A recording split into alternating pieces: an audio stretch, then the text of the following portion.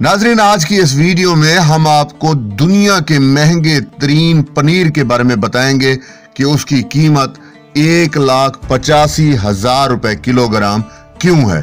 مزید آگے بڑھنے سے پہلے آپ سے گزارش ہے کہ آپ نے ہمارے یوٹیوب چینل گھوم جا کو ابھی تک سبسکرائب نہیں کیا تو برائے مہربانی اسے سبسکرائب کر لیجیے اور نیچے گھنٹی کے بٹن کو دبا دیجیے۔ پنیر ویسے تو بہت سارے لوگوں کی مرغوب غذا ہے لیکن سربیا میں جو پنیر دستیاب ہے، اس کی قیمت سن کر پنیر کے شوقین لوگوں کے ہوش اڑ جائیں گے۔ جی ہاں صرف ایک لاکھ پچاسی ہزار روپے فی کلو۔ اس مہنگے ترین پنیر کی خاص بات اس کی قیمت ہی نہیں، بلکہ وہ دودھ بھی ہے جو اس کو تیار کیا جاتا ہے۔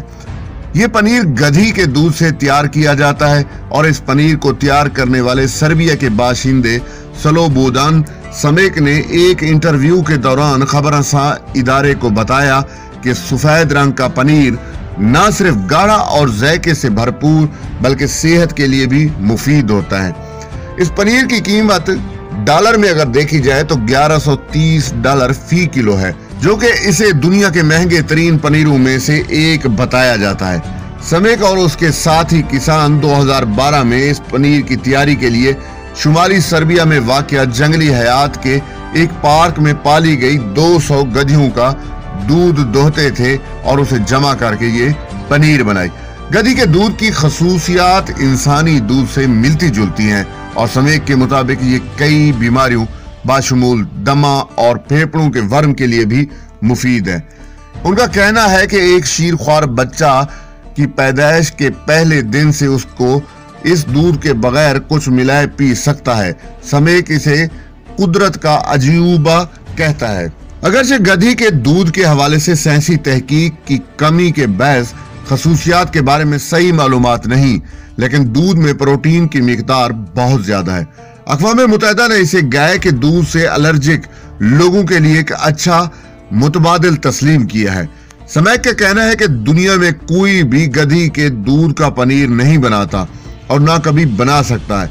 خیال رہے کہ گدھی کے دودھ میں پنیر بنانے کے لیے ضروری کینسین نام کا پروٹین کا لیول کم ہوتا ہے۔ سربیا کا فارم سال میں صرف چھ سے پندرہ کلو گرام پنیر فروخت کرتا ہے۔ اس پنیر کی بیشتر خریدار غیر ملکی سیاہ ہوتے ہیں جو سربیا کا وزٹ کرتے ہیں۔ اور اس دوران یہ پنیر بھی خریدتے ہیں۔ سربیا کے اس فارم میں گدھی کے دودھ سے صابن اور شراب بھی بنائی جاتی ہے۔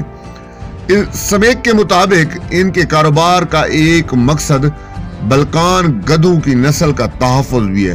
ان کا کہنا تھا کہ ان کے کاروبار کی وجہ سے اس نسل کے گدوں کی ضرورت پڑتی ہے اور اب کئی فارم کھل گئے ہیں۔ خیال رہے کہ گدی کے پنیر کے حوالے سے دو ہزار بارہ میں اس وقت سرخیاں بنی جب میڈیا میں یہ خبریں آئیں۔ مشہور ٹینس سٹار کووچ نے اس پنیر کا سالانہ آرڈر دیا۔ تاہم انہوں نے ان خبروں کی تردید بھی کی تھی۔ ناظرین، امید ہے کہ آپ کو ہماری یہ دلچسپ معلوماتی ویڈیو پسند آئی ہوگی۔ مزید ویڈیوز کے لیے آپ ہمارے یوٹیوب چینل گھوم جا کو سبسکرائب کر لیجیے اور نیچے گھنٹی کے بٹن کو دبا دیجیے۔ جبکہ ہماری اس ویڈیو کو آپ نے پسند کیا ہو تو اسے لائک کر دیجیے۔